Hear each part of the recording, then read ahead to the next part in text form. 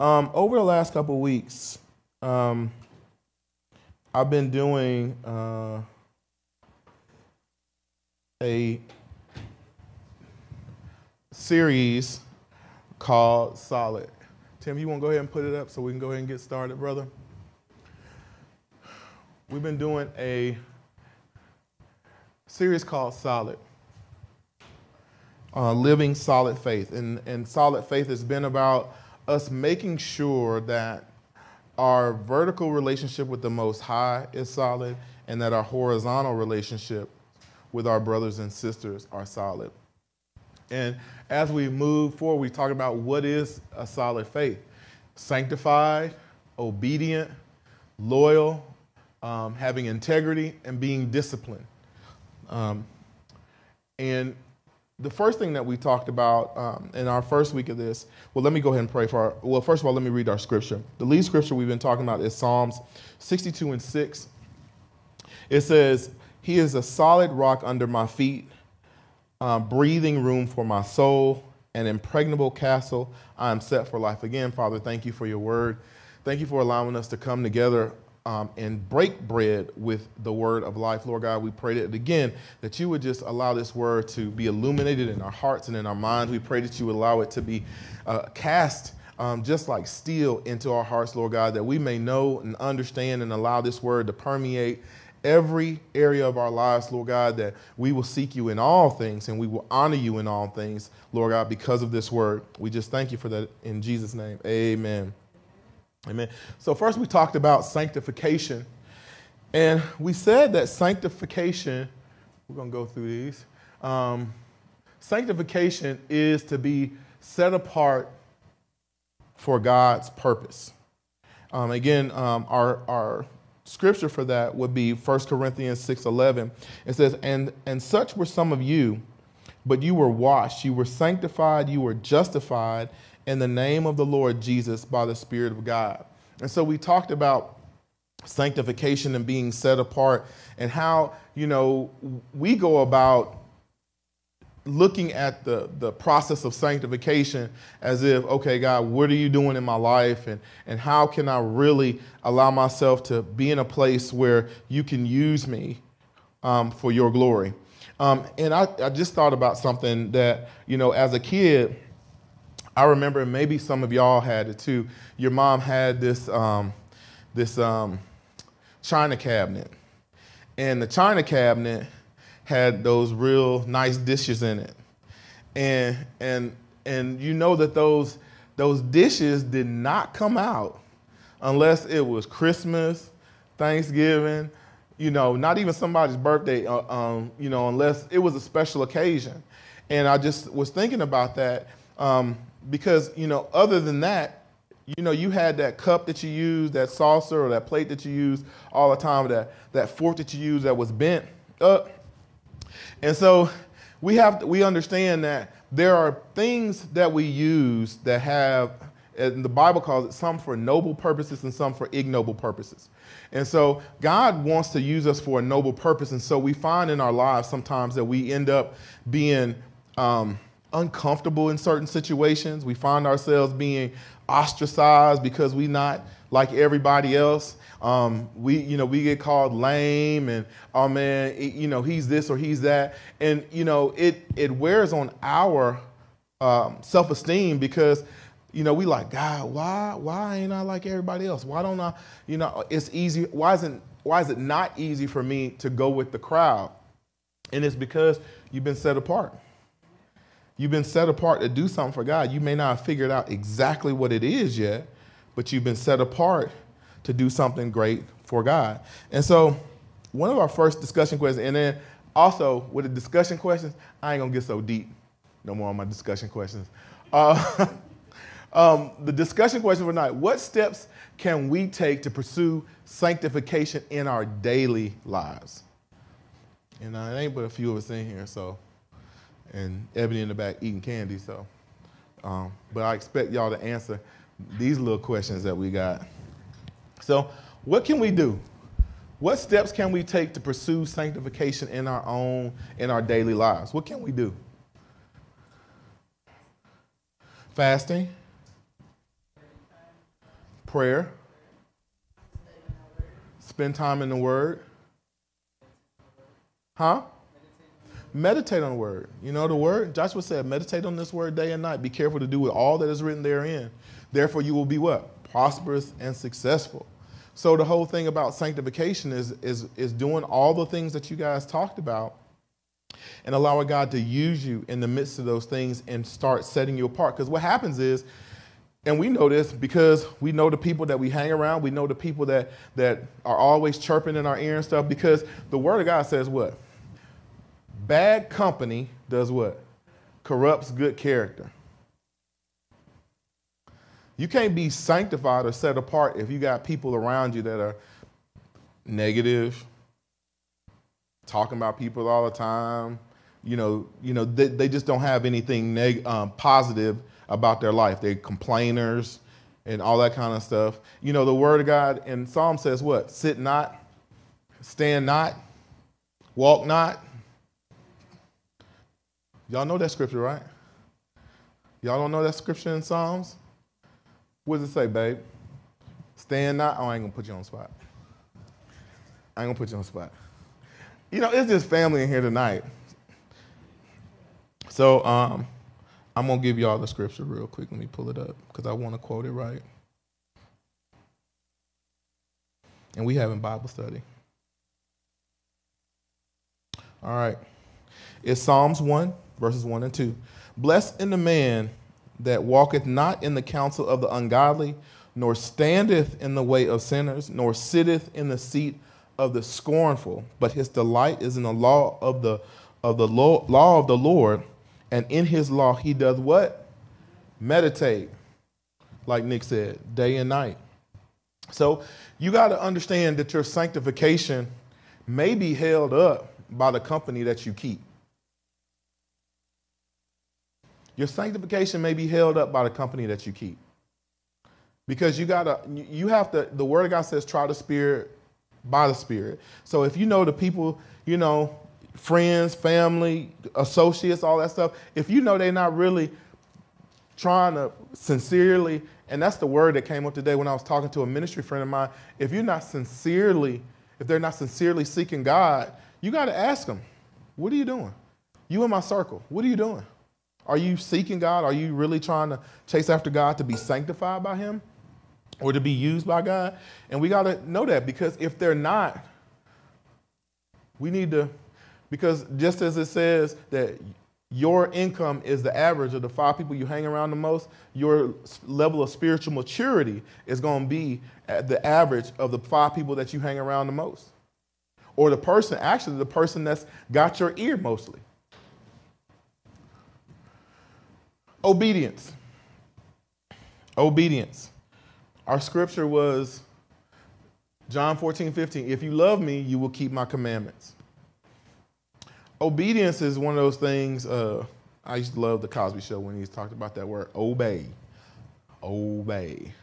I mean, as kids, we we railed at that word, which means we we we didn't want to do it with our parents. We didn't want to do it with our teachers. You know, um, so what happens is invariably when we don't want to obey our parents and our teachers who have been authorities that have been ordained over our lives from a young age, we end up we we start rebelling against God. And sometimes we don't think that it's rebelling, but we're not being obedient. And what happens is when we're not being obedient, we think, well, I, I do what God wants me to do. And if you're real with yourself most of the time, a lot of the time, you know, and we're, we're not talking about being perfect by no stretch of the imagination. We're talking about being perfect. But understand, y'all know me. I talk about your heart being perfect towards God so that you can hear what God is saying to you. I mean, the other day, excuse me, the other day, God said something, the smallest thing to me about being obedient to Him in it. And I was, I said, I said, God, really? Uh, okay and, it, and, and something great came out of me just being obedient to him in the small things. Because the word of God says what? It says the small foxes that spoil the vine. So we have to be sure and make sure that even in our obedience that we're we're we're not saying, oh God, I'm being obedient, you know, I'm abstaining from this and I'm not doing that and I don't drink and I don't do this. But you got your little personal sins. And we all had them. We all got our little personal sins because I don't, I don't want you guys to, to, to think that I'm standing here having been perfected in faith. None of us are going to be perfected until Christ comes. Okay, so but what we're doing is is God's given me an opportunity to come and share his wisdom with you that he pours into me. And I'm still walking this thing out with y'all. We doing life together. So understand that because we're doing life together, there's going to be some things that because God is judging me more strictly, is which the word says. It said, those that consider yourself teacher, you, you're going to be judged more strictly. So I have to check up with where I'm at because there's things that you guys come to me about or come to me and Tara about that are life issues. And we want to be able to, to dispense the wisdom of God. And the only way that we can dispense the wisdom of God is through obedience. Because it'd be one thing for me, for you to come and tell me, Pauley, this, that, and the third, this, that, and the third, and I tell you what you need to do out of my own wisdom. But I need to be prayerful about because it's your life. And what happens is the there, you know, standing here has eternal consequences. And so I want y'all to know that that me standing here is not y'all. First of all, y'all know my story. I didn't ask for to be up here. Number one. Number two, I take this seriously because what I say to you all has it, it ripples into eternity. And I want to make sure that I'm, I'm dispensing again the, the wisdom of God, not Pauley's wisdom. Because what I got to give y'all is nothing compared to what the Most High is going to give you. So, our question How does our obedience to God's command, uh, commands demonstrate our love for Him? Y'all got to speak up. I'm finna sit my tea that my wife made. Hey, y'all, my wife back. Praise God. Whew. I know they got tired of me telling you, I wish my wife was here. The question How does our obedience to God's command demonstrate our love for Him? How does it? Bueller? It shows your faith.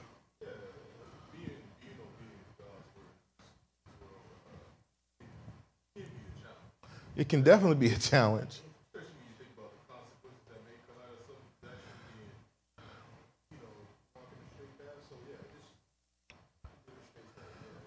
Be- yeah, because sometimes you think God walking you off a cliff. Can I be honest? Sometimes you think God walking you why God, why would you tell me to do that? But but but we don't know that God, because we don't see far enough, God done put a bridge somewhere for you. But because because you done been down that road so many times, you know the you, you know that, hey, that's a cliff over there. But you don't know that God put a bridge there when you wasn't paying attention. And we, because we're not obedient, we can't. It, it, uh, it doesn't allow us to receive the blessings from God because that come from obedience. And like Matt said, you know, it can be hard being obedient to God because it's it's counter to society. It's counterculture. It's it's being obedient to God where we live in a world that says, as as as as the Satanist Anton LaVey said, what? Do what thou wilt. We live in that society. We live in a society in, of a moral relativism. We live in a society where people say what's, what's true for you may not be true for me. Truth, truth is, a, is, a, is a moral construct. There's no absolute truths. But I don't know about anybody else, but this is absolute truth. This is absolute truth. So, so it is. It's, it's one of those things where being obedient, it can be a taxing thing, but at the same time, there's so much peace in being obedient. When you abstain from something that you know God doesn't want you to do, there's such a, a peace in that. When you've come through a fast, you know, and you stuck to the fast and you and you stayed true to it. And, and what happens in the midst of that fast, God gives you some sort of revelation in the midst of the fast. So I'm going to implore you in that too. It said, you know, the word God says some things don't come but by what? Prayer and what? Fasting. So I'm going to implore you guys to incorporate some more fasting into your into your um, your worship and your, uh, your devotion time with God because I'm going to tell you it, it reaps untold benefits not only from a health standpoint but from a spiritual clarity standpoint because you know oftentimes what happens is we're so inundated with the noise of the world that we can't discern our voice from God's voice. First of all, how you discern God's voice from your voice if what if what the the what's being said to you if it lines up with the word that's God's voice. That's number one. That's the E. That's that's understanding God's voice 101 is if it lines up with the word. That's number one. So, but when you fasting, you're clearing out, you're, you're, you're putting uh, um, muffles on the outside noise when you're fasting, if you're doing it right. If you're praying before you read the word. Because you pray before you eat, right? Hopefully you do. Hopefully you do. Um, pray before you read the word. Because just like you praying before you receive that physical nourishment, and what's in that food is going to be ingested by your body so that your body can be built up. In the same way, you pray before you read the word so that the nourishment that's in that word can be edification for you spiritually. And God's going to reveal something to you when you start fasting. Me, I I intermittent fast every day. You know, Tara and I usually don't eat. Well, Tara does it better than me. She don't usually eat till the news come on unless she's snacking on something at about one or two o'clock. But me, I usually don't eat until about one o'clock. And I'm trying to be prayerful and make sure that time is God's time. It ain't just me not eating because I'm intermittent fasting. I'm using it as an opportunity to be in my devotional and I make sure what I'm watching, what I'm reading, and what I'm consuming during that time. So incorporate that because it gives you an opportunity to be a little bit clearer and what God's voice is so that you can be obedient to that voice. And then what happens is the anxiety about being obedient to God where it starts to diminish. Because then you start walking in boldness. And as we when we go through this, we're going to talk about where that boldness is going to lead us to um, eventually. Next is loyalty. Loyalty, loyalty, loyalty. So everybody wants a friend that is loyal. You know, I've, I've listened to and watched a lot of stuff on um, social media. One of the things that catches me all the time is um, you want somebody that talks good about you when you're not around. You know, you want loyal friends like that. You know, we always talk about somebody being down like four flats on a Cadillac or and all that kind of stuff. You know, how, we know friends that we thought was like that, but they end up not being those type of friends. Because, you know, given a, a given set of situations or circumstances, loyalty will be tested. But you want to make sure that you're that person when it comes to God. And we thought Paul was that guy. I mean, uh, excuse me, Peter was that guy that was loyal because he was already, you know, because again, I got your back. He told Jesus, man, I got your back. But when it came time, when when when it was when the um, as my grandmama would say, when the theses hit the rotating oscillator, I'll let you figure out what that means later on. He wasn't nowhere to be found. He wasn't nowhere to be found. He was like, "Oh, I don't even know that cat." You know, little girl, don't aren't you what you what you? I don't know that cat. You know, so we got to make sure that when it comes to Christ, we're loyal. Scripture, Proverbs 3 3. Let not steadfast love and faithfulness forsake you. Bind them around your neck and write them on the tablet of your heart. It's saying to us, loyalty shouldn't be something that's passe. It shouldn't be something that, you know, we um, we say and don't um, display. We say it, but we don't display it. We say to people that we loyal, but do we really, when it comes down to it, are we loyal? I've talked to you guys about um, one of my favorite books to read, The Four Agreements. And the first agreement of the Four Agreements is what?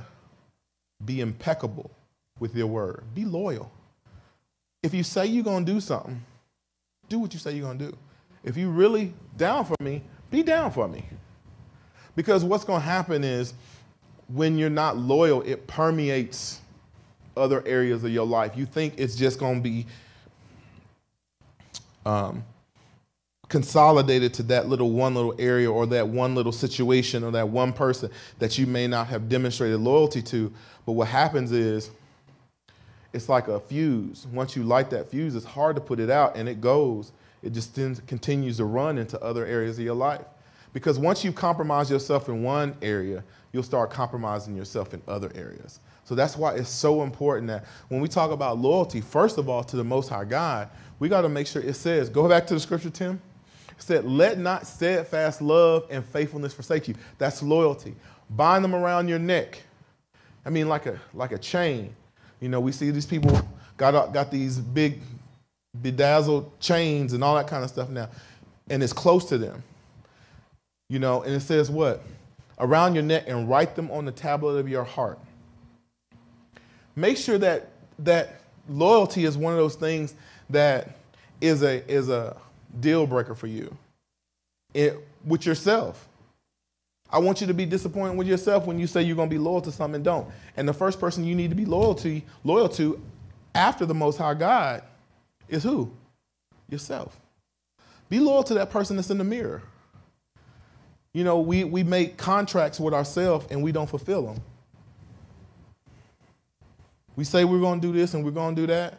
You know, my wife said something the other day. We were out of town.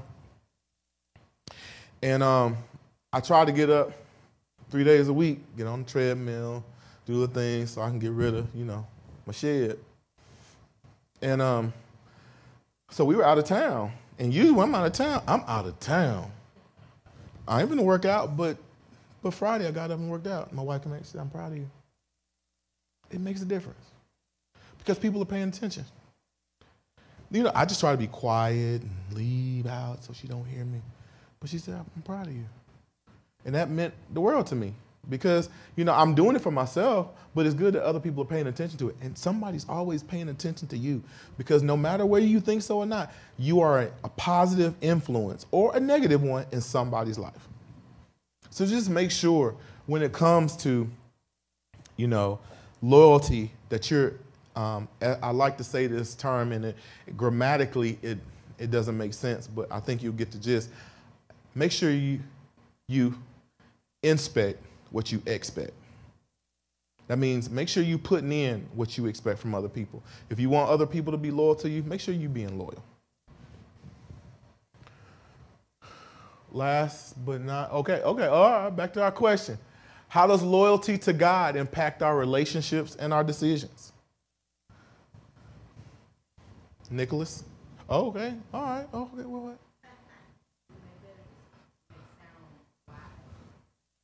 Yeah, how, how, yeah, how does uh, sound decisions like what?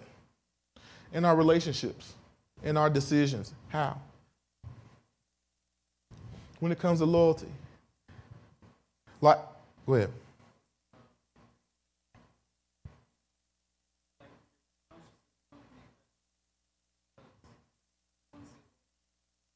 Yeah, absolutely. You know, in, in relationships, like my wife, my wife, I have a business partner, and we were talking about today. She told me to tell you, hey, by the way, I have a business partner, female. You know, my the one thing I did when I entered when I when I considered entering into a relationship with her uh, from a business stand, she met my wife immediately. And now what happens is whenever we're out and there's other non-males around, she talks about the level of loyalty that I have to my wife. You want you want to make sure that again you you're above reproach in those areas, and that's that loyalty that we're talking about. And and um, and the next thing it, that lead that loyalty leads into the next thing, which is integrity. Integrity, a basic definition of integrity is what? To do the right thing when what? No one's watching. You know? Proverbs 11 and 3. The integrity of the upright guides them, but the crookedness of the treacherous destroys them. The integrity of the upright guides them. You always want to make sure that you're, you're, as being a person of integrity, that you allow that integrity to take you into, because you're, because I heard this a long time ago, and I've never forgotten it. Um, your ability may get you into places that your integrity won't allow you to stay there. And what that means is you may have this ability to do something, or people perceive your ability to do that, but your character and your integrity may disqualify you from that, even though you got to that place. That's why integrity is an, an, important part of who our what our makeup is, and we want to be considered a person of integrity because again, integrity lends itself to loyalty, lends itself to obedience, lends itself to what? Sanctification. All these things work together, and as the scripture says, you know, go back to it, Tim. The integrity of the upright guides them. When you're an integrous person, understand there's going to be things that God is going to put you in the midst of that you normally would not be in the midst of if you were not an integrous person. Because now he says to you something that God said to me a long time ago in one of my prayers, and I told my wife about it, and it was just a, a, a whole a, an emotional thing for me when I was praying one night, and God said, "I trust you." God said it to me. And I'm just sitting there, okay, God, you know, when I get my devotional time, I just kind of be quiet before I start asking God for what I want. And this particular morning, I was I was in my devotional time and stuff, and I was just sitting there, just ruminating over God, and just you know, I try to mentally be in the throne room, and it was like God just told me, He said, "I trust you." And ever since then, even before then, but even more so since then, I've tried to do everything I can to make sure I'm, I'm, I'm making myself worthy of that trust. Do I mess it up? Of course I do. But the thing about it is, again, perfection of the heart towards God. So we want to make sure we're doing that. Question Nick, why is integrity important in our walk with God and in our interactions with others.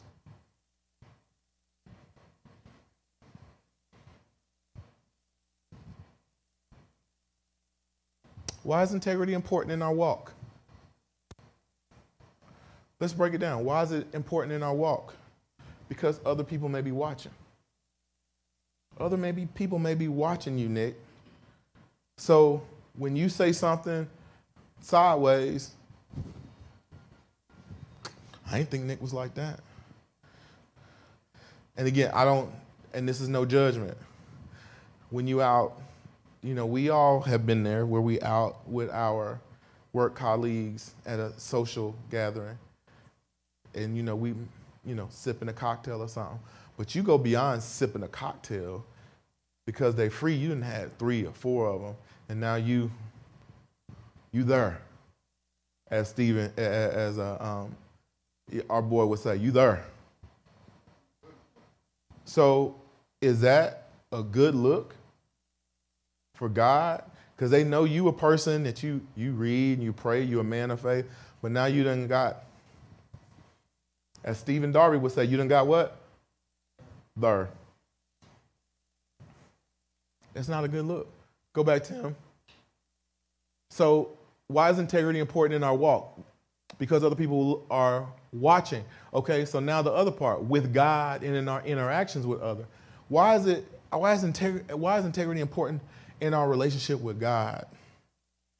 Why is it important? Why does God want integrity in our relationship with Him?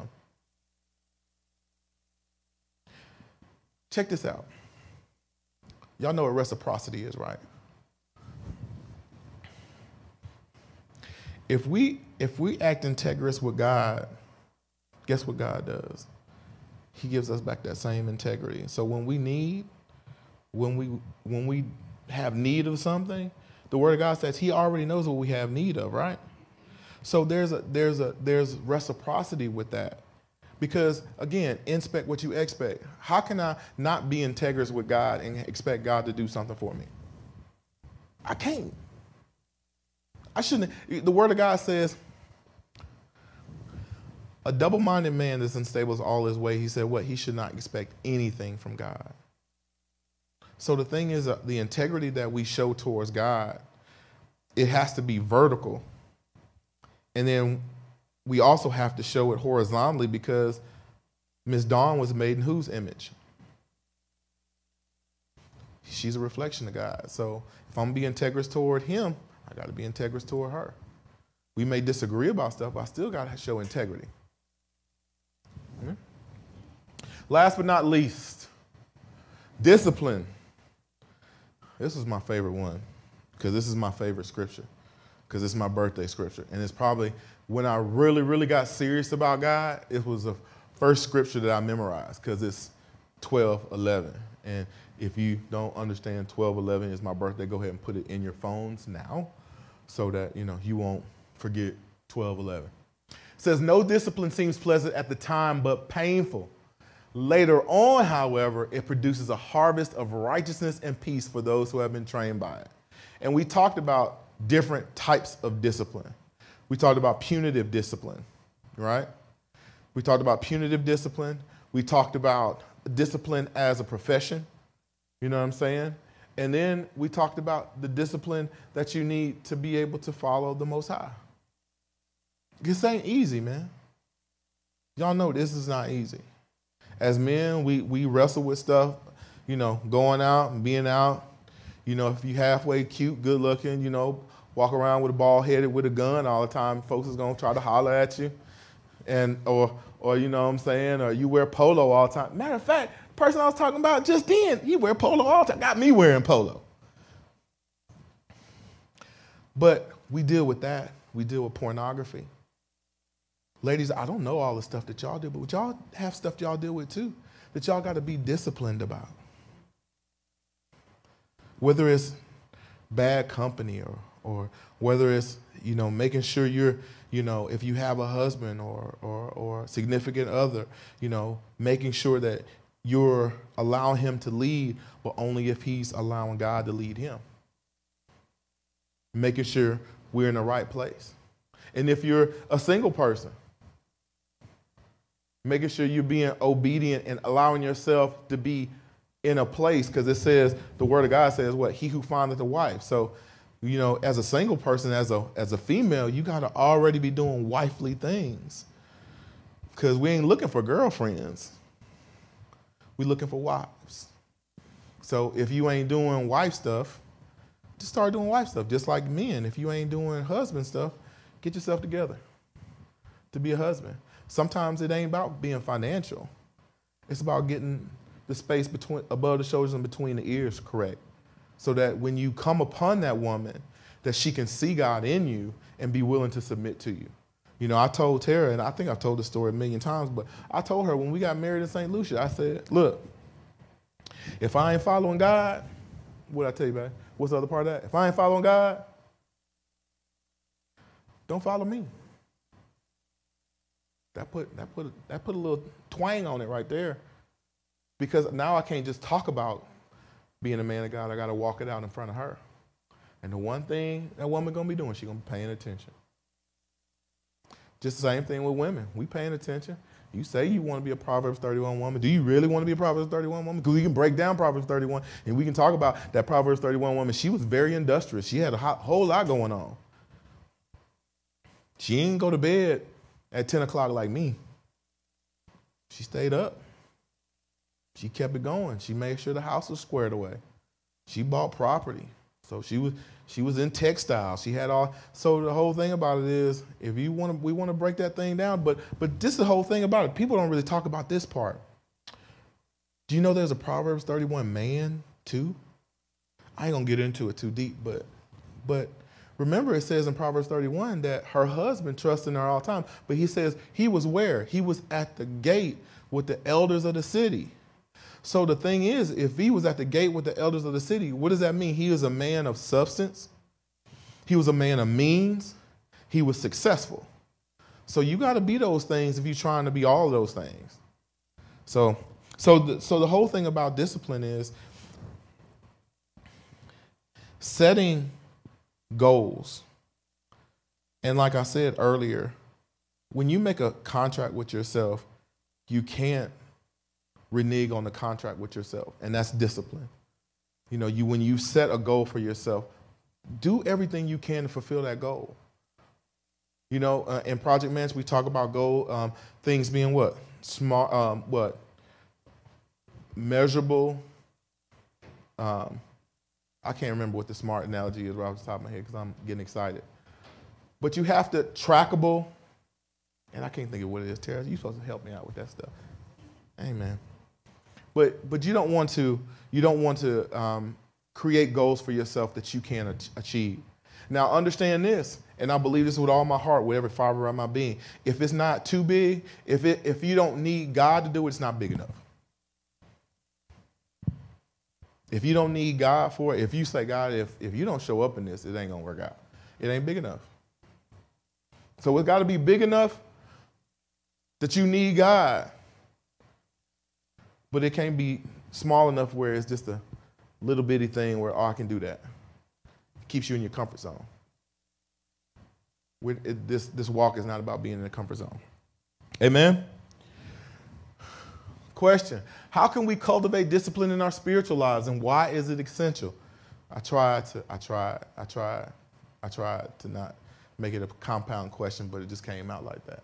How can we cultivate discipline in our spiritual lives? We talked about that earlier by what? Reading the word, meditating on the word, making sure you have a discipline in the morning. You know, we talked a while back about small victories in the morning. Small victory, what? Making your bed up every day. After that, the next thing should be having some time to spend with God every morning, making that time up. Go, you know, if you need to get up early, you know, I try to I try to get up on something with a five in front of it.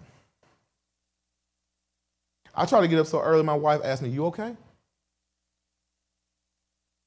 Because I want to make sure I'm making time for God in the morning, and that's part of the discipline you know, for our spiritual lives. Why is it essential? Because it gives us a start. You know, I don't know if you guys are old enough to remember. Um, there, I know you remember this. Um, when the army say we do more before 7 a.m. than most people do all day. That's what getting up early does.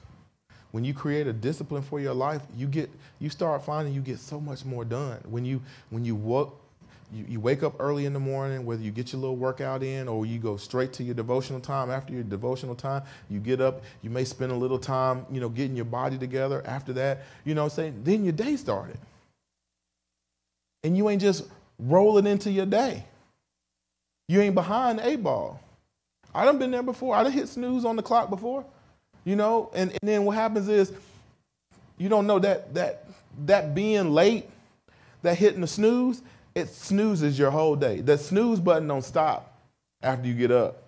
Because if you lay here, you're gonna be late for that, then you're gonna be late for that, you're gonna be late for that, that's gonna take too long. I thought I was gonna be out here before the end, and then you end up, it's seven o'clock and you ain't still ain't got all this stuff done. Create some discipline for yourself. Self-discipline was the last one we talked about. Amen. So now we talked about solid faith sanctification, obedience, loyalty, integrity, and discipline. And the reason that we talked about all of these things is because I wanted to lay a foundation for where we're headed. And what I mean by where we're headed is Philly of Dallas, I've said this since August the 1st, 2022. We have an assignment here in Dallas. We have an assignment to do two things. And um, we have assignment, and that assignment is linked up with our vision. And um, and I want to say this because I wrote this, so I want to say it. As we conclude our insightful journey through Solid Bible Study Series, we're, we've explored foundational elements of our faith sanctification, obedience, loyalty, integrity, and discipline. Those elements of our faith will be important as we endeavor to accomplish the mission that we have in the city of Dallas. Again, we have a vision um, for 2024.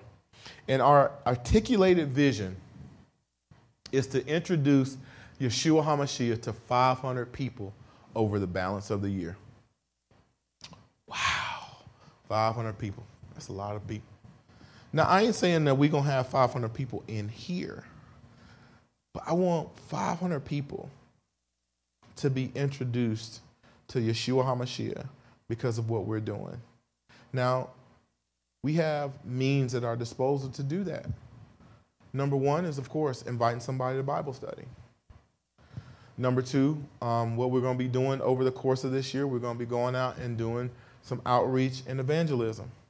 And that's something we're going to talk about here in a minute. We also have social media. I implore you guys, you guys are students of the Bible, put you a, um, a video together, send it to me. If it's not theologically correct, I'll let you know and we'll edit it and get it all together. But I want you to do your part. Because again, the Great Commission wasn't just for people that stand up and talk to you and, and conduct and moderate Bible studies or preach messages. The Great Commission was for y'all too. Go ye therefore into all nations, baptizing, you know, making disciples of the nations, baptizing them in the name of the Father, Son, and the Holy Spirit. That wasn't just for preachers and teachers. That was anybody that calls himself a follower of Christ. So I'm telling you, there's a whole bunch of mechanism and means that we can get to that 500 number. And I want us to keep track of it. I gotta find out, babe. Hold on a second. I gotta I gotta know what it is so I can share it. Hold on a second. Okay, here we go.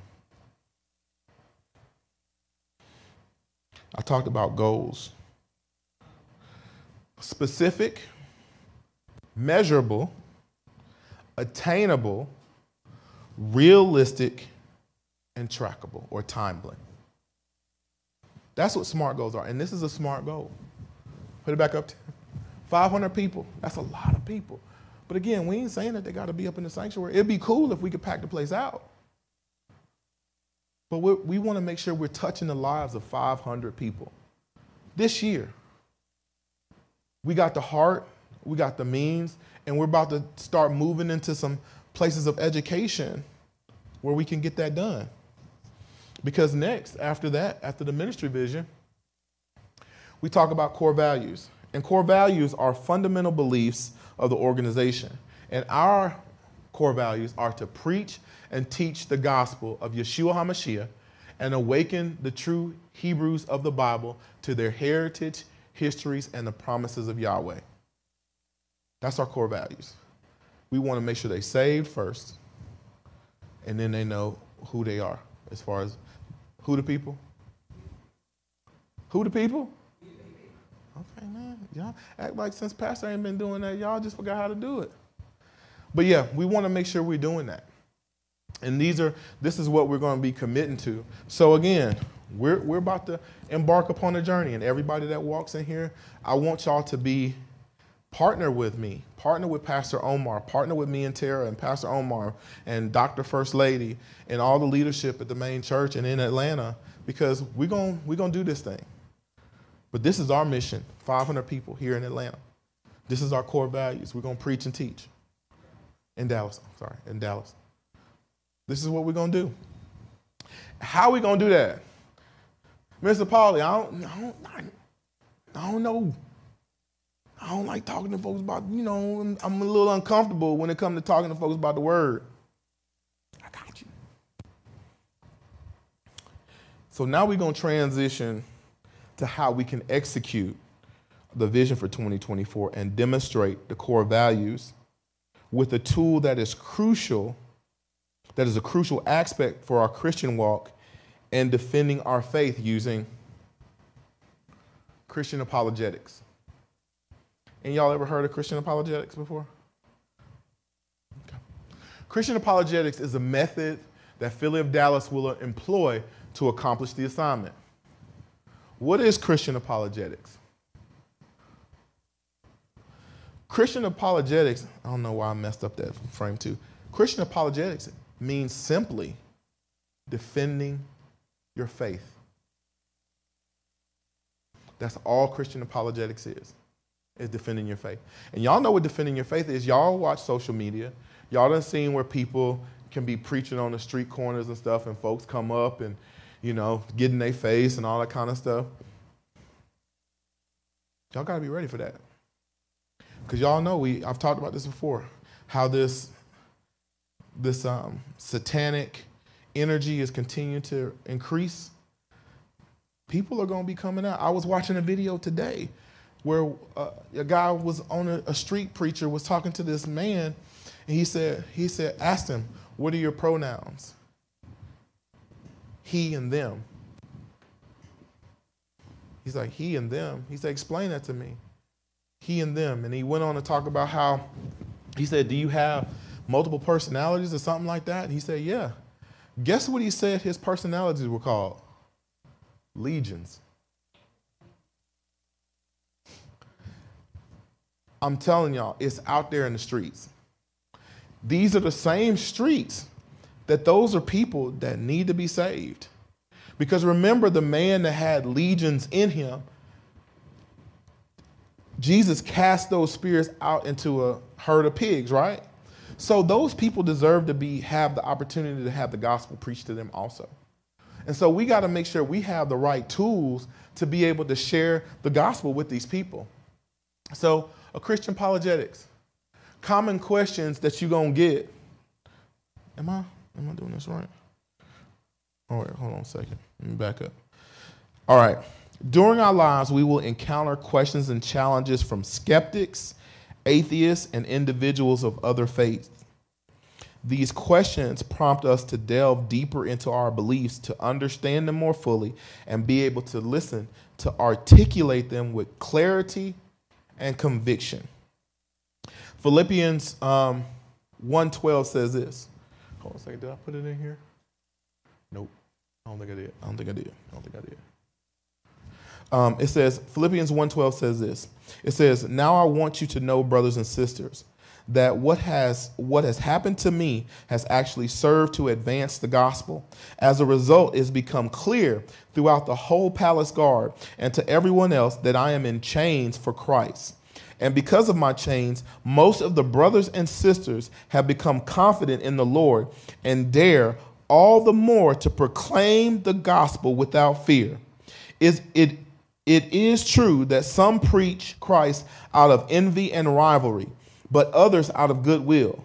The latter do so out of love, knowing that I am I am put here for what? For the defense of the gospel. So we have to make sure that we're prepared. Because Christians, we, we are the, the most maligned people. I dare you to go out and talk crazy about a Muslim, about their faith. I dare you to go out and talk crazy about a Jewish person, about their faith. You might get arrested, you talk to them too crazy. Or an Asian person. But with Christians, y'all know, we, we get maligned, we get people mocking us, people mocking Christ. Why? Because we don't stand up for our faith. We don't defend our faith. And the reason that we don't defend our faith is because we don't know our Bible well enough. We don't know how to defend our faith. It's just like I was messing with Miss Dawn about going and getting her gun class so she can defend herself. We got to get classes where we can defend the thing that we say we believe in the most. Because whether you believe it or not, the questions finna start coming, y'all. They finna start coming. And what kind of questions I'm talking about? Why does God allow suffering and the evil one and evil in the world? Have y'all heard that question before? And most of us, we shrink back from it. Why? Because we can't articulate what's in our hearts. We know what's in our hearts,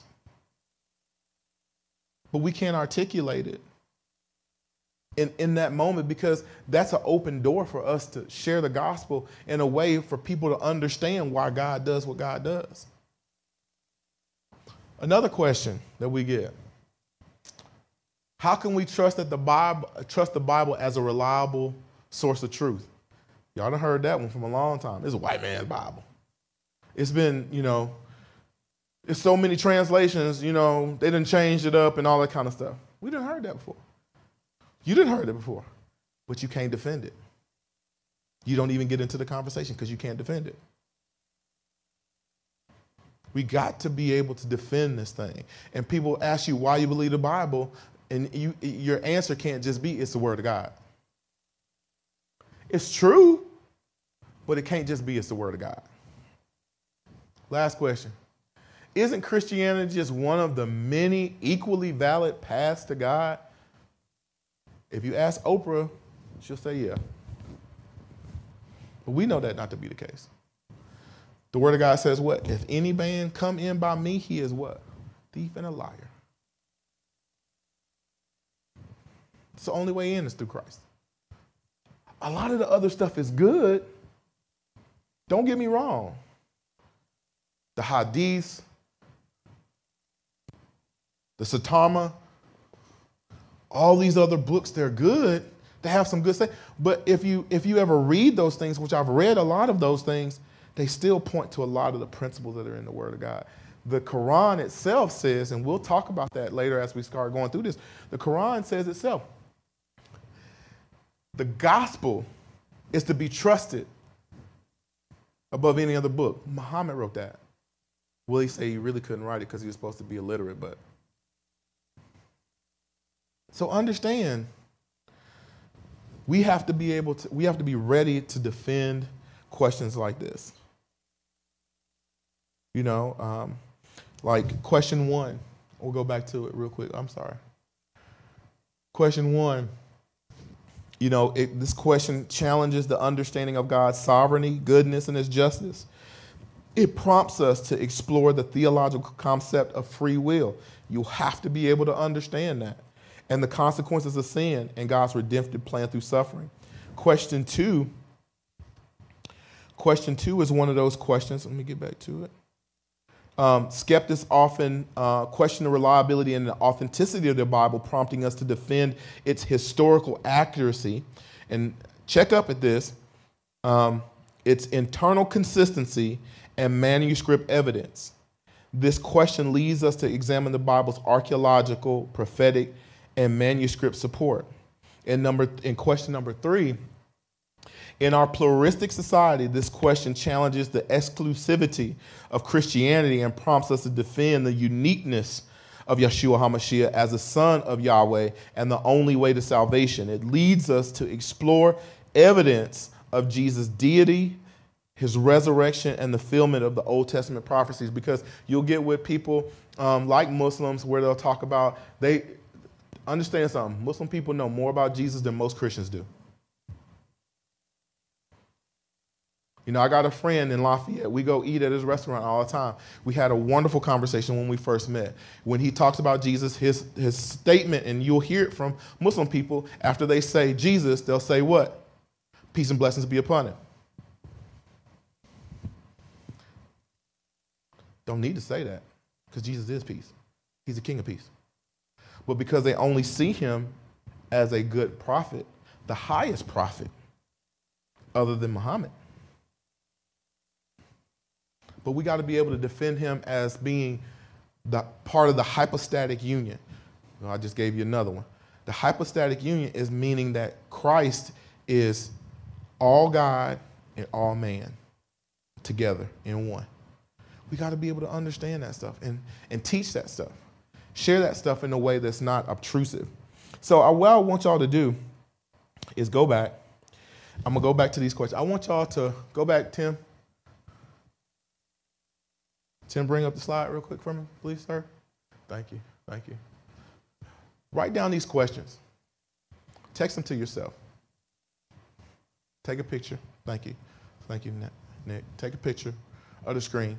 Because what I want you guys to do, I'm about to go to Question two, unless somebody tell me to hold up. Question two. And question three. Oh, I'm gonna go back. Just take a picture. Okay. Get a new phone. Let me know I can go ahead. All right. Question three.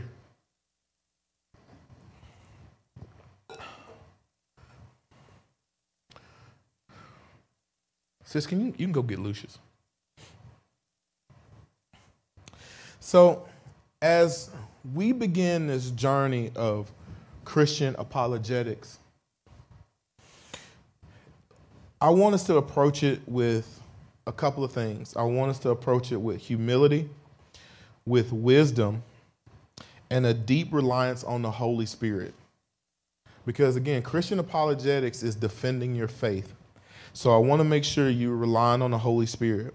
We should pray that our study and defense of Christian faith be rooted in love, grace, and truth, ultimately pointing others to the hope found in Yeshua HaMashiach alone. Now, this is going to be a first for y'all. I'm going to give y'all some homework. Number one, I want y'all to take the questions that you have taken pictures of or text to yourself. Do some, through research and study, develop answers to those questions that you feel comfortable defending. Okay? I want you to I want you to take those questions and through your own study, I want you to figure out a defense of the, that question that you feel comfortable with with your level of knowledge to understand. Number two, think of other questions that people use to discredit Yahweh, Yeshua, the Bible, and Christianity, and develop answers to those questions also. So next week, I'm gonna hope we got three questions tonight. I'm hoping y'all gonna come with some more questions that people use to discredit Christianity. But the most important thing that we've talked that, that we have not talked about tonight is having a solid relationship with Yahweh um, and our brothers and sisters and having boldness to share and defend our faith. But it first requires something of, from us. First, oh, go back. Oh. Go back to ABC. Tim, if you don't mind. Go back to ABC for me. First, we have to admit that we are sinners. Next, we must believe that Yeshua HaMashiach died on the cross for the remission of our sins, was buried in a grave, and rose with all power on the third day. Lastly, we must confess that Yeshua HaMashiach is Lord and Savior of our lives, and we submit our will to His. We have to first be saved because it's going to take a lot for you to stand in front of people that say you crazy, say you're, you know, you cheat. Um, they got so many different things they say about Christianity. And again, um, they would never go to a Muslim and say stuff one on one to a Muslim about their faith. Now, they may go with a crowd of people and say something about Muslims because they got somebody, feel like somebody got their back. But they wouldn't do that to a Muslim. They wouldn't do that to a Jewish person or a person of any other faith. They just do it to Christians because most of us, we can't defend our faith. The thing we say we believe in the most, and we, the thing we say that we that saved our lives and allow us to live in eternity, we can't even defend it. The only reason we can defend our family and our mothers when people talk about them is because we know them. Because we know them, our friends, because we know them, our family, our teammates, all these things, because we know them, we have an intimate relationship with them, we can defend them. That's why we got to have an intimate relationship with Him. Because we're going to have to defend Him. So, everybody stand real quick. We're going we're gonna go through a prayer of salvation. I know most of y'all saved in here, but it's okay for us to walk through a prayer of salvation again. And we are also going to go through a prayer of restoration because we got to be restored. We got to make sure the Holy Spirit is dwelling in us because we're about to walk into this thing called Christian apologetics. And it's going to take a lot. It's going to take a lot for us because we have to defend our faith. Just like Nate um, has to gear up when he's protecting a property, he's protecting us tonight. We got to gear up with the word. We got to gear up with the word. You know, and, and the other thing that Nate does, because um, not even just gearing up, but he's proficient with his equipment. You know, I go shooting with him, and he talks about the groupings that he can make because he's a very good shot. We got to be able to shoot straight. We got to be able to make sure we focused in on our targets. The only way he's able to do what he's able to do is because he spends time with his equipment. Do we spend time with our equipment? So I'm challenging you tonight to think about those things as we pray and just ask God to come into your heart right now and prepare you so that you can equip yourself and so you can prepare to spend the time that is needed so that you can be proficient with your tools so that you can go out and defend this gospel. So, every head bowed, every eye closed, just repeat after me Heavenly Father, y'all can say it loud. we come before you, acknowledging our need for your saving grace. We confess our sins and shortcomings, and we humbly ask you for your forgiveness. Lord, have mercy on us and cleanse us from all unrighteousness. Lord, you are the great restorer. We bring our lives before you as those who are broken, weary, and in need of your healing touch. Heal our broken hearts and bind up our wounds, O Lord. Lord, we sometimes find ourselves lost and wandering, far from your embrace. Please draw near with your spirit and continue to lead us into a transforming relationship with you. Open our hearts to your love and open our hearts to your truth. Lord, we pray for restoration in our relationships and in our communities and in our world. We pray that your reconciling love bring healing and wholeness where there is brokenness and division. Let your peace reign in our hearts and in our world. Lord, we thank you for hearing our prayers and for your faithfulness to save and restore. We praise you now and forevermore. In the name of your Son, Yeshua HaMashiach. Amen. Thank y'all. Thank y'all tonight, man. And like I said, tonight was just the beginning. We're going to go in and we're going to start getting into some apologetics so that you guys will be ready to defend your faith. I mean, that's going to be the main thing going into, you know, these troubled times that we're in right now. So I want you guys to be prepared when someone comes to you and, and, and refutes the fact that, you know, that Yeshua HaMashiach is who he is and, and all these things. Because a lot of people, when they come to you with these things, they're not coming to you really because they don't believe or they hate, they don't know enough. And, and, and because of the society that we live in, people don't know how to ask for help. They don't know how to ask questions. Everybody want to make it seem like they know everything.